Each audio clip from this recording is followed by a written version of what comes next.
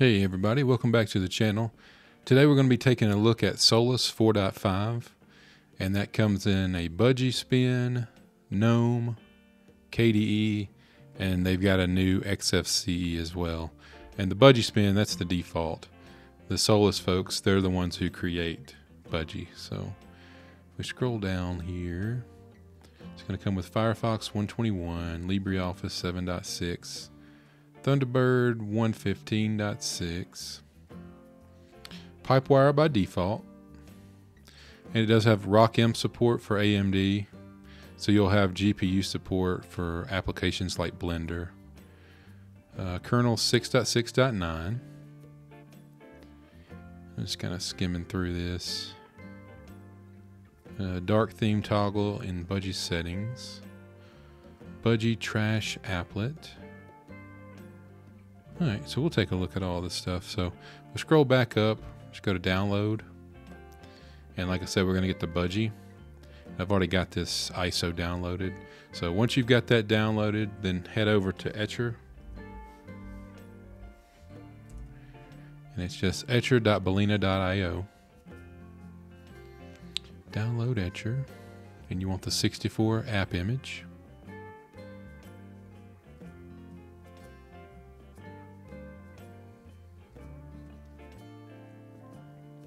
Go ahead and open that. And I already had it downloaded, but you just double click on that. Actually, before you go into it, right click on it, go to properties and then permissions and make sure that it's, it's allowed to execute. You just got to check that and then you can double click and click the flash from file. You click that and you grab your Solus ISO, select your USB stick and then hit flash. And then once that finishes, leave that in your machine, restart, and press F11 or F12 on your keyboard to get to your boot menu, and then you'll select that USB stick. And that's where I'll meet you.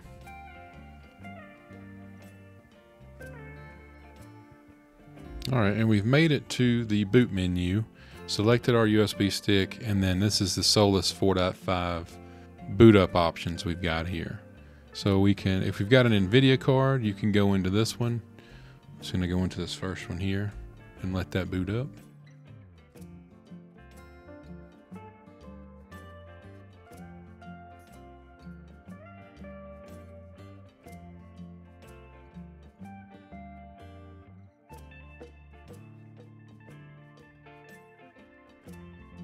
All right, I'm just gonna select install system.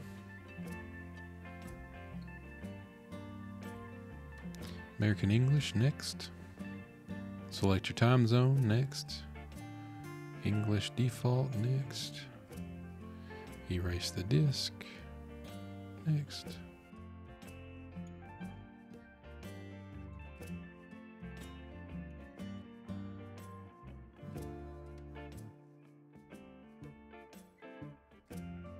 Put in a super secret password. Next and we'll just let this complete. I'll go ahead and speed this portion of the video up.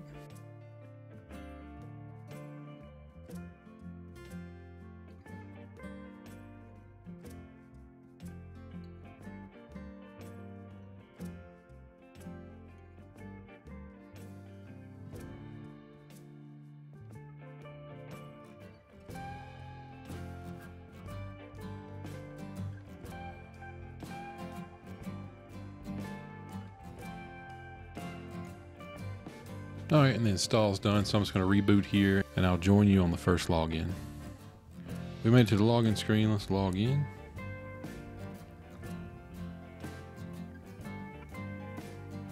All right, and we got prompted immediately, software updates available. Let's open the software center. Available updates, we got about 350 megabytes of updates.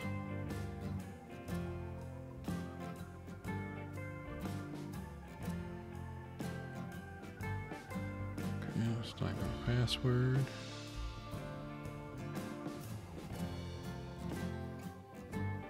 And we'll let this run.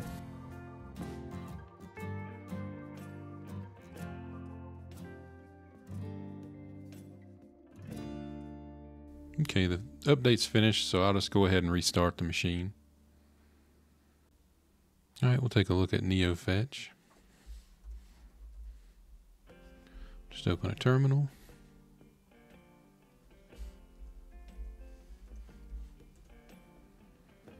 Running kernel 6.6.11.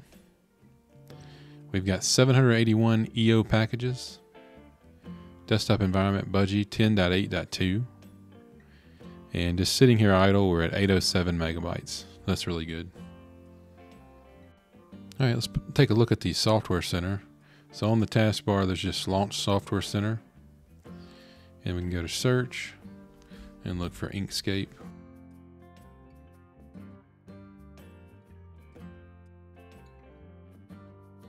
And we can see there's a gallery. Scroll down a little further, it's got a description, the developers, the version number, and how large the file is. I've already gone ahead and downloaded it. So if we go to our super and then type in ink for Inkscape, pull it up, there it is. All right, let's take a look at the system tray. And this little icon here, this is the Raven menu. That's what it's called in Budgie. So you click on that, you get your widgets. And the widgets that we've got is the date with the calendar, and then our sound, and then mi microphone. And if we click on notifications, yeah, so I believe this notifications is just a quick, yeah, it's just a quick launcher to get to that notifications tab. It's still the Raven menu here. Just a quicker way to get to notifications. Uh, then we've got our time. We click on that system time and date settings. You can go to the time format, which is it's cool that it's in AM PM already. Normally it's 24 and you have to go in there and change it. So I like that. And then there's your power button. You click on that. You've got lock, log out, suspend, hibernate, reboot, and shut down. And then our volume rocker. And then the notifications again. And then our network connection. And then you've got your taskbar icons, which you can pin anything here. It comes with Rhythmbox, what is Cell- Celluloid, Firefox, Nemo, and then our Software Center. And then your application grid, you click on that. It's more like a start menu type menu. That's pretty cool. All right, let's take a look at System Monitor. Pull it up. CPUs between 1, 2, and 3% and the memory sitting at 1.1 gigs, so not too bad at all. Alright, let's take a look at some wallpapers. Just right click, System Settings, and then click on Background. And it's got quite a few good ones here. Let's go. We'll just start from the top. Mountains. Nice green wallpaper. Some kind of eagle. Curious little bird. Here's an otter. Kitty cat. Snowy. Looks cold.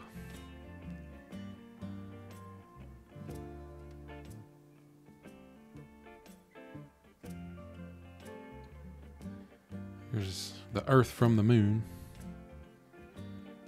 Like Saturn. Cool galaxy one.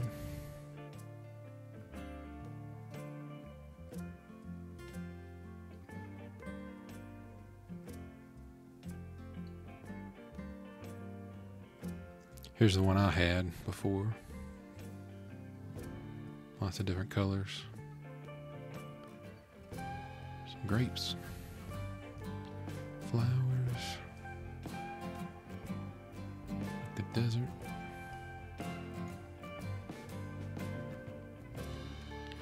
looks like the hole that, that Batman was in. What's that? That one Bane's in, the third one. There's a circuit board.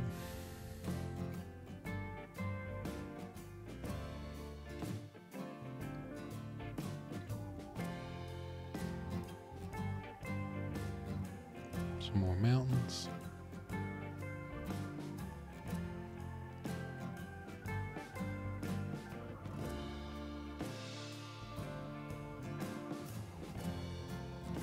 Just a leaf in the road.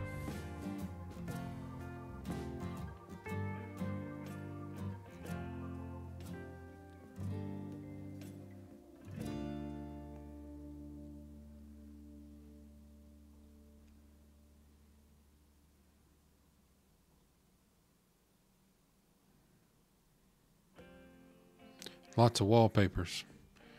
Try to click through these pretty quickly.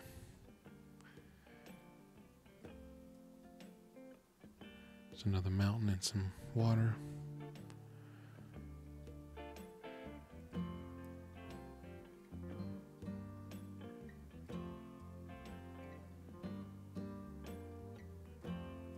Solus.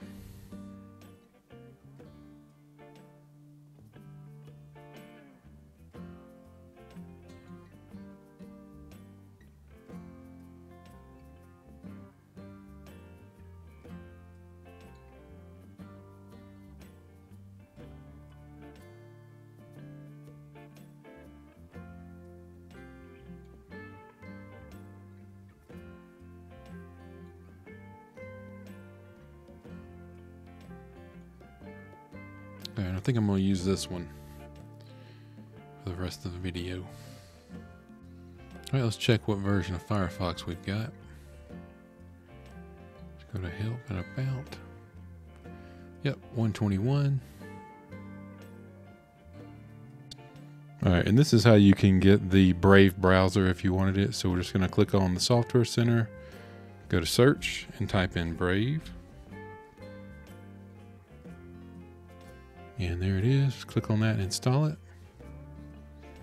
It does show you the dependencies that are needed. Put in your password and just let that download. Okay, we'll close out of that. Click our super button and just bring up the Brave browser.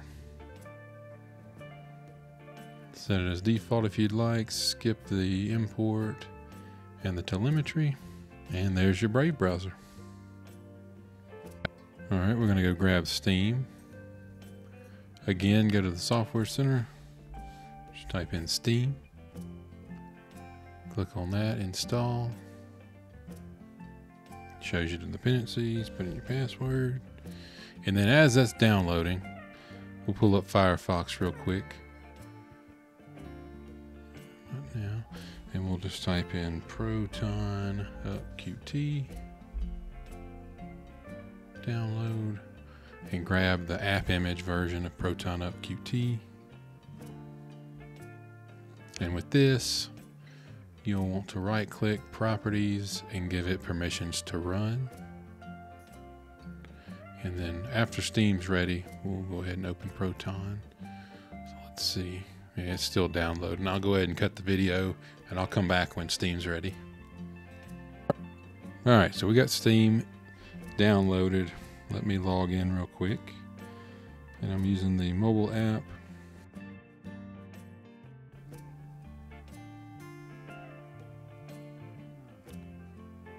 Okay. We just want to break the seal of Steam once, so I'm just going to right click on the system tray, exit Steam. And then we will right click on the Proton Up app image and make sure you've got the allow execute. All right, and then I'll double click. Okay, and here's our Proton Up Qt, which is going to go grab the latest and greatest Proton GE for us, 827.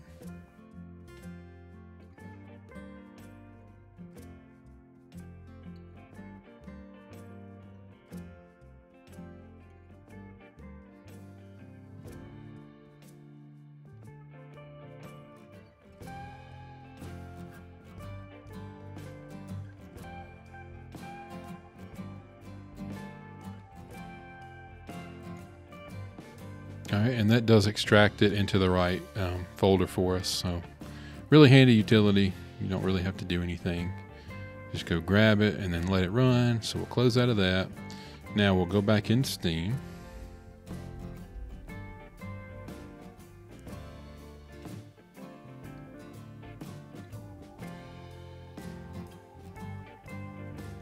And we just want system, actually Steam, settings,